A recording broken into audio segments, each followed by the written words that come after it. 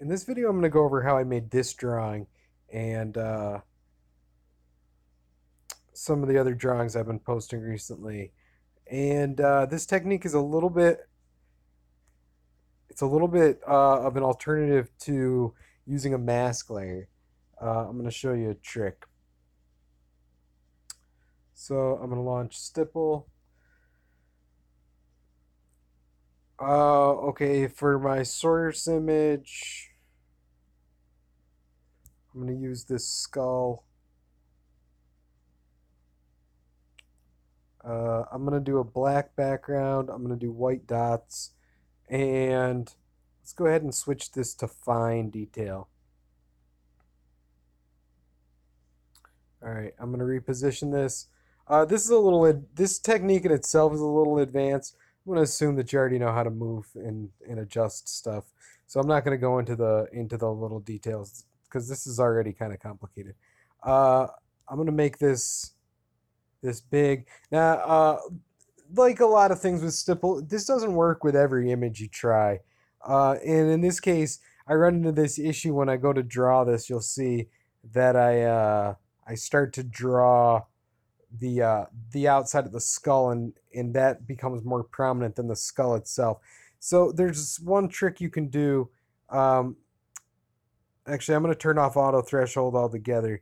Now you can, uh, if you pull the, the right slider out, you'll limit how the the white spots that you get. So you can almost make just a like a like a auto mask in itself if you get lucky. In this photo, it's it works because if you look at this photo, uh, the skull is uh, very light gray, but the background is uh, is a white.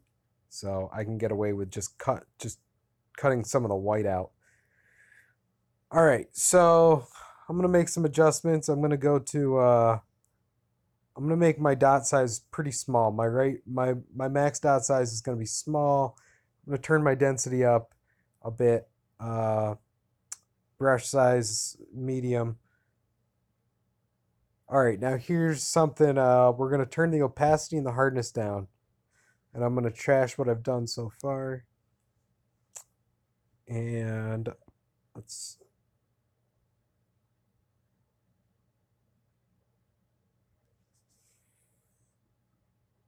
Uh, actually, let me, uh, I'm to increase that dot size just a little bit. Otherwise, this will take all, all night.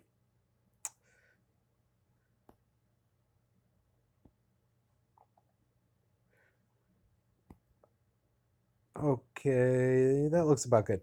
Okay, so first I'm going to draw the skull on. But we're not doing it at full strength. And uh, and if you're doing this, you can experiment with that. But right now, I'm not doing it in full strength. And by full strength, I mean full opacity. Um, you'll see that the uh, because of the way that we choked or we cut off the the uh, top part of the white, that we end up with this kind of cool outlining effect. And all right, so now we we have this skull pretty much drawn. So next, what I'm gonna do is I uh, I'm gonna push this I'm gonna push the skull to our gallery. You can do that with the the arrow, the arrow button. Uh, that way, any uh, any repositioning can get saved and we can use it again. All right, so I'm gonna pick a different draw image, and let's see.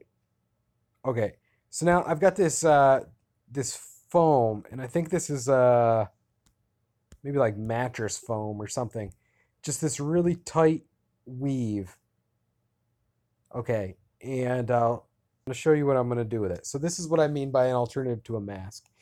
So we're going to go and click the layers palette or click the levels palette and we're going to um, we're going to return this slider to the right all the way. We're going to put auto on and we are going to uh, click the invert button. So now we're drawing the, the dark side of the spectrum. Um, Okay, now this is key. This is what I mean by the alternative to a mask. So we're going to go to our color palette. Uh, let's turn the opacity up just a little bit. And then in the blend mode, we're going to click clear. Uh, and what clear does is clear works as an eraser. So, let's see. For the sake of doing this faster, uh, let's turn the opacity up a little bit more. Uh, okay, so now as we draw, our, so now as we're drawing the foam, the foam is getting erased from our skull image.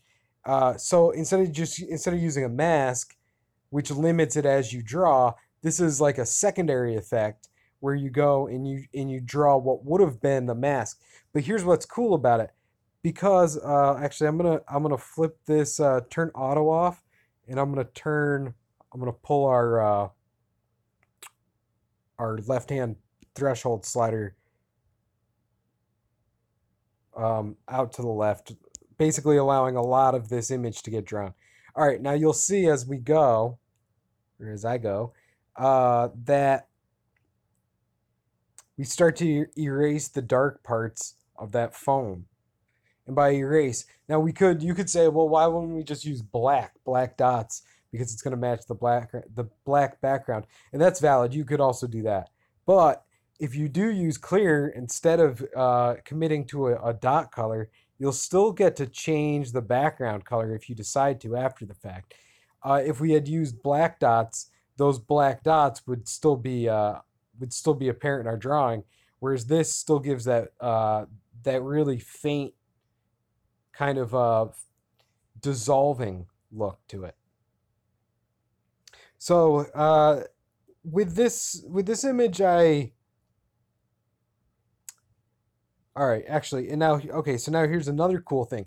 So now we can make to make that uh, that foam even more apparent. Let's put auto back on, and we'll click the invert. So now white's on the right hand side, and now this is key, and this gets me all the time too. Is that uh, you you have to you have to return to normal mode. Otherwise, you're gonna still be in clear mode. You're still gonna be er erasing. So now I'm gonna click back. Uh, I'm gonna click back on our dot. Make sure my dot is white and uh, let's decrease this a little bit. I'm going to undo my last move. Okay, and now we start drawing that foam texture on. So now uh, I'm going to toggle real quick back to those previous settings using clear and start to delete and remove the uh, the dark portions. So now it's uh we're it's like we're mixing two images together right now. We've got that skull in the background, and now we're drawing some of the highlights of our foam on, and then we're we're erasing uh the dark part the dark parts of that foam. And we're really getting some some pretty cool effects some pretty cool texture effects. Now, now uh, if you wanted to use a mask, you'd run into the trouble whereas the mask is a hard cutoff. So we don't really build any of the uh, what do you call it? Like the dynamic range that would be built when you're using a draw image because the draw image is scaling the the dot size itself. So as we're scaling our our delete dot size, so to speak. Uh, I'm not going to go into how I did this entire thing uh, because I did end up draw taking in another um,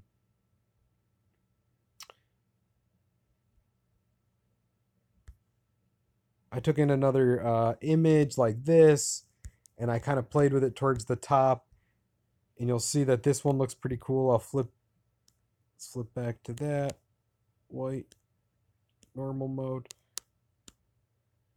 So I mean, so yeah, this is a lot of juggling. I mean, this is this isn't easy, but I mean, think about how cool this final image comes out looking. And uh, I've seen the stuff you do, Nancy Spring Things. I think you'll have a blast with this. Um, so let's see. So now let's talk about these masks, or well, I won't call masks. That'll be confusing. Let's talk about these these foam images. Now you'll notice that there's there's very it's a very even contrast throughout this thing and this is kind of crucial if you try to use something that's too complex you're gonna kind of just muddle the image or well i'm not gonna say that i'm sure you can come up with something cool but i find that if you're using uh, let's go back to that foam thing because the foam is a great example. I mean, if you squint your eyes, this foam thing just basically becomes gray, right? It's like this thing is just has a very even contrast to it, very even black and white, and this create like this is perfect for this. So it's almost like your subject can be complex, but when you're dealing with other masks and stuff, sometimes it's best to to think simply on that. Um, so we're getting to about the 10 minute mark in the video. You guys have probably stopped watching. Uh, let's add one more thing though, because uh, if you looked at those the the example images I showed, most of them also used uh, color maps as well. Uh, and this is very simple. If you've used uh, if you've used color maps at all in Stipple, you'll totally understand. I'm going to use this. This is from GGZ Life, life Observation Deck. Uh, real cool woman on uh, Instagram.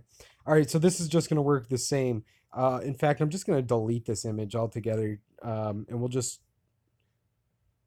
uh, just because like this is the whole the whole thing with with those colorful images. I'm just using a rainbow. Uh, let's increase that dot size so we can see this a little bit better. I'm just using like a rainbow background to to draw this stuff on or a rainbow color map.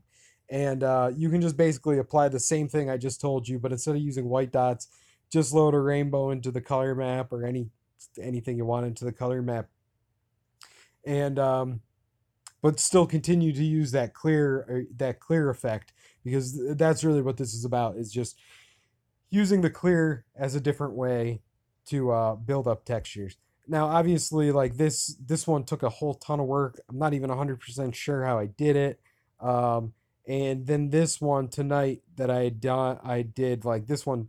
This one took a lot of tries. Uh, I'm like juggling back and forth between drawing that that skull image, drawing the masks on, or, or not the masks, drawing the foam layers on, and then bringing the skull back, drawing bits of the skull back on, erasing parts. It's a it's a whole back and forth uh, juggling act. But you know, I mean, that's what makes Stipple uh, interesting and compelling to use is the fact that it's like it's work, right? So when you're done, you're happy with it. All right, well, thanks for watching.